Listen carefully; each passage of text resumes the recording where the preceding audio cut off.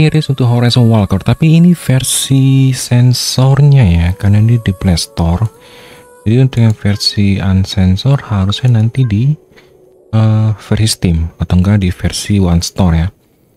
Ini kalian bisa pakai untuk gas akun. Dan gue sangat sarankan untuk roll ulang. Kalian akan cari si Everett. Everett itu yang elf yang yang coklat itu. Sama kalian cari untuk senjatanya jadi kalian butuh itu untuk mempermudah kalian buat coloring konten. Dan di sini tuh untuk auto battle-nya tuh gak guna ya. Dia sering spam skill yang nggak perlu. Jadi kadang tuh mending kalian main manual di sini. Jadi ya, untuk yang versi ini kalian gak usah khawatir. Ini versi yang sensor, jadi gak akan ada yang aneh-aneh di situ. Story dan gameplay kalian bisa skip ya jadi kan nggak perlu takut kelamaan roll ulangnya. Tunggu skip aja. Nah jadi untuk si karakter ini kalian bisa uh, pakai gold atau mungkin pakai tiket ya. Ini kita pakai tiket aja di sini.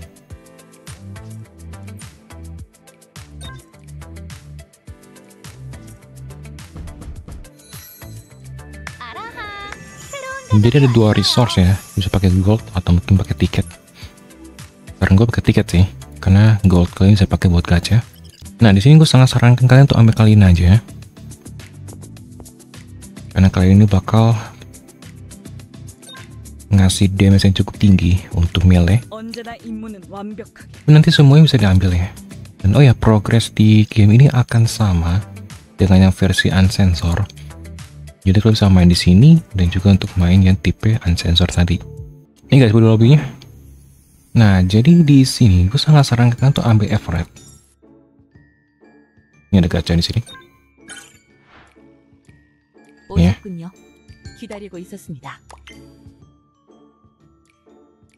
Naruh tuh karakter kalian dan kalian di sini. Jadi untuk party itu ada kos-kosnya ya. Jadi kalian nggak bisa naruh semua karakter SSR juga gitu.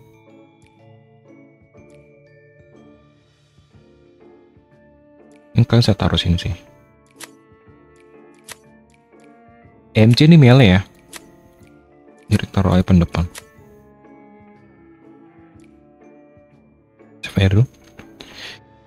Lihat sini, ini ada cost di sini 16. Jadi kalian cuma bisa pakai karakter dengan poin segitu ya. Ini. Gue masih bisa pakai satu sih. Tapi kalau misalnya kalian pakai karakter yang SSR itu costnya lebih tinggi kalau nggak salah 6 dan itu akan membuat party kalian sedikit lebih dikit ya. Ini kita disuruh untuk sedikit gameplay dulu sebelum kita ke gacha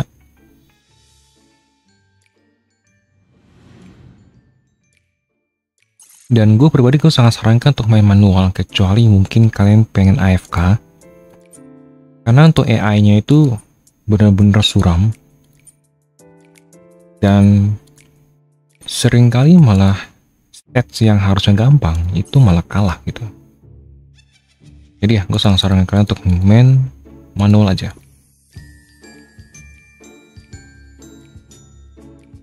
Dan ingat ya gameplaynya masih belum optimal sih.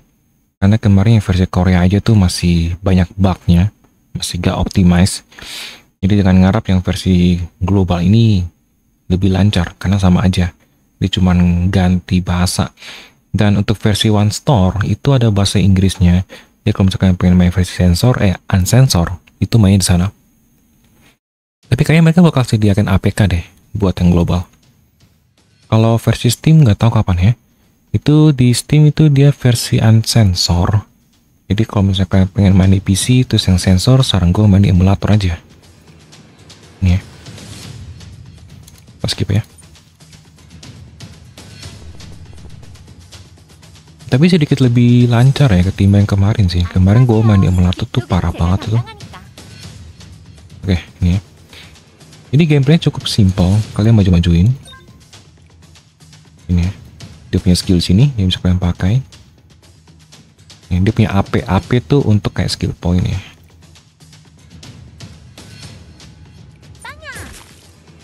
Snipe. Nah ini kita bisa maju dikit ya. Sini terus pakai skill sih jadi kalau misalnya kalian pakai untuk si autonya itu dia suka ngasal loh.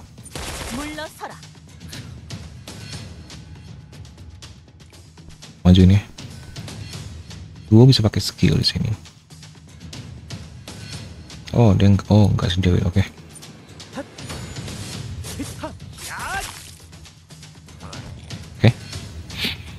Ya, 이제 untuk 복귀해요. game gitu dong. 임무 완료. Jadi di game ini gold itu sangat berguna ya. Dipakai buat upgrade, dipakai buat gacha, terus dipakai buat beli karakter. Kalian lihat untuk UI-nya sama aja dengan versi yang unsensor.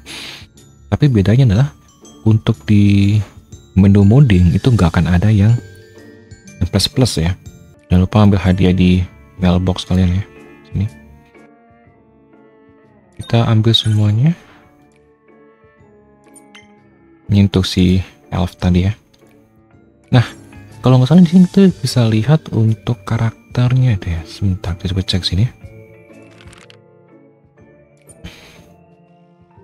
Nah ini ya. Jadi Evra tuh yang ini. Ini. Elf yang ini. Jadi elf ini itu sangat bagus banget.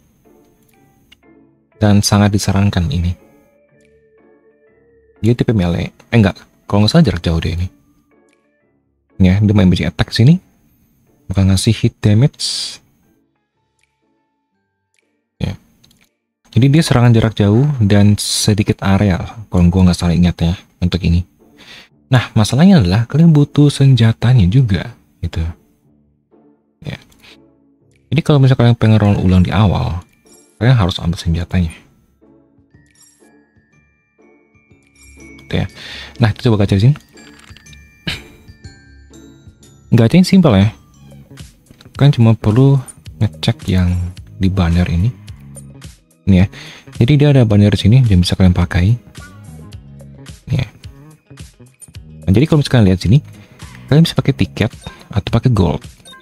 Ini ya, antara dua ini. Di sini juga ada untuk senjata. Ini senjatanya ya. Jadi kalian harus ambil senjatanya. Ini untuk senjata biasa ya. Pistol. Jadi kalau misalkan pengen round ulang, ambil di sini dulu. Ya. Kita coba gacha sekali. Animasi kalau dia Oke, nggak dapat ya.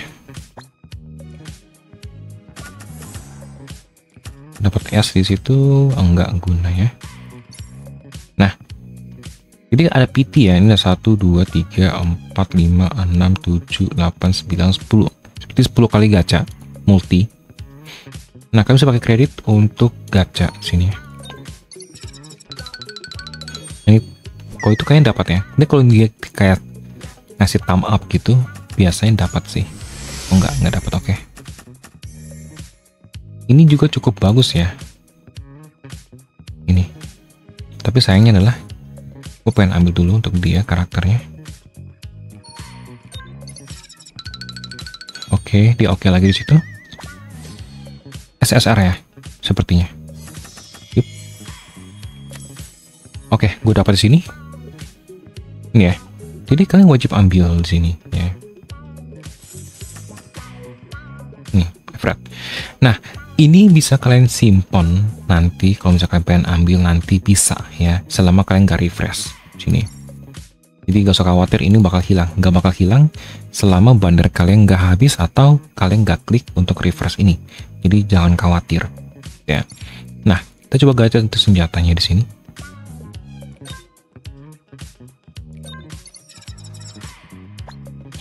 Song ya. Tapi gue punya SS di situ, oke enggak ya?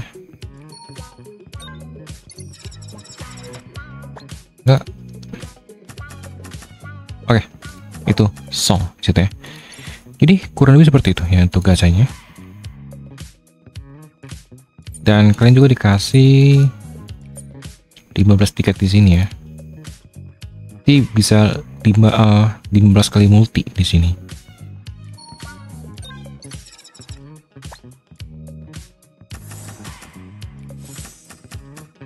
Oke, kita coba lagi. Ya kalau misalkan dapat sesuatu yang kalian mau, kalian bisa simpan. Nanti kalau misalkan udah punya gold, kalian bisa ambil. Ini nggak perlu, ngapain?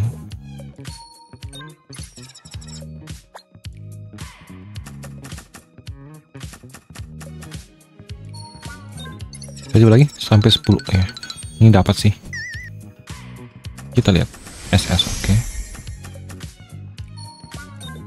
Sebenarnya kalau untuk tim yang diisi sama 2X itu cukup boros sih. Karena costnya tuh bakal tinggi banget.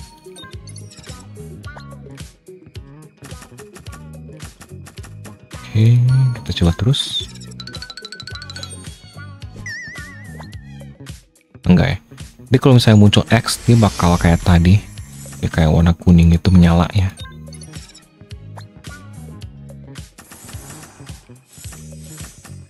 Oke, enggak ada. Kuning situ. Oke, kayak gini ya. Kita lihat apaan tuh.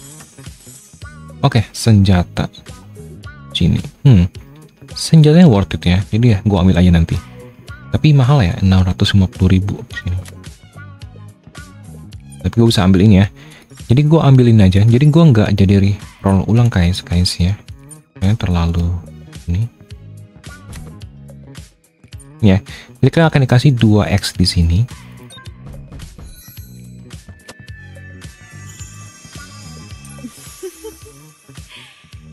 Ini ya si Everett.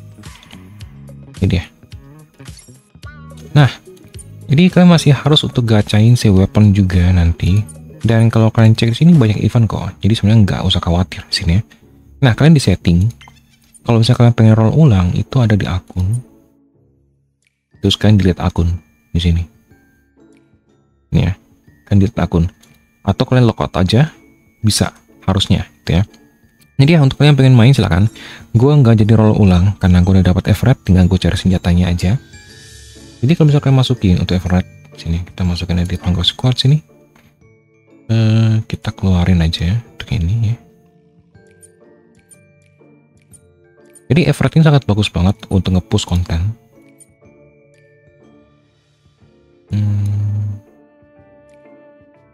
Gue masih but uh, bisa masukin yang 4 ya. Ya, gue masukin aja yang gue suka ini sih. Entah kenapa ya. Atau ini deh ya. Jadi kalau kalian lihat, gue cuma bisa masukin tiga karakter aja, karena costnya itu terlalu tinggi. Nah ini loh, hanya untuk kalian yang mungkin pengen sedikit lebih gampang aja untuk ngepost konten.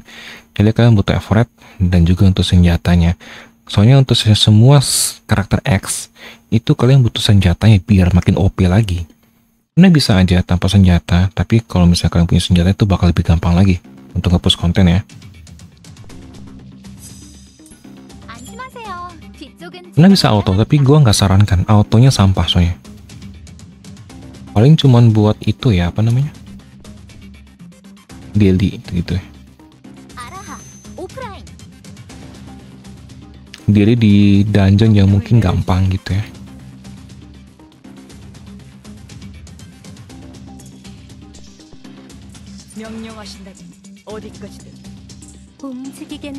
Nah, kalau kan cacing dia punya skill di sini ya.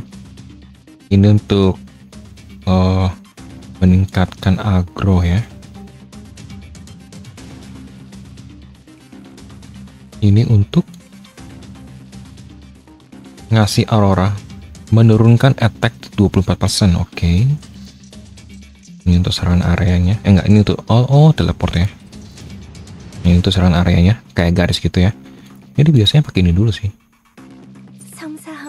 Jadi kan membuat musuh itu sedikit lebih empuk damage-nya. Nah untuk MC ini dia punya skill-skill sini ya, kalian bisa coba untuk agronya. Sebenarnya untuk si tank kayak si MC ini lebih mengarah ke tanker sih. Kalau untuk damage mending yang lain aja ya. Lah malah mati, oke lah. Jadi gitu untuk kalian yang pengen cobain versi sensor di Play Store jadi kalian nggak usah khawatir ini akan uh, ada versi plus plusnya nggak akan ada karena kalau kalian cek di setting itu nggak ada settingannya itu Kalau yang di versi One Store itu ada settingannya. Jadi kita bisa uh, nyalakan atau matiin untuk versi sensornya itu. Iya, di sini nggak ada. Karena memang itu versi yang Playstore ini memang khusus untuk kalian yang pengen main itu. Dan kalau di ini, di pelarang ini, ini biasanya untuk itu ya, untuk meningkatkan bonding kalian sini. Tapi bondingnya nggak akan ada untuk yang versi itu ya. Jadi ini gamenya simple banget dan lebih mengarah ke bonding sih. Oh ya, gue lupa lagi. Gue akan ngasih tau lagi. eh progress di versi sensor dan unsensor itu sama aja. Jadi kalau misalnya kalian pengen main di sini boleh, terus pengen main di versi unsensor juga boleh, karena progresnya sama aja, satu akun, jadi nggak masalah.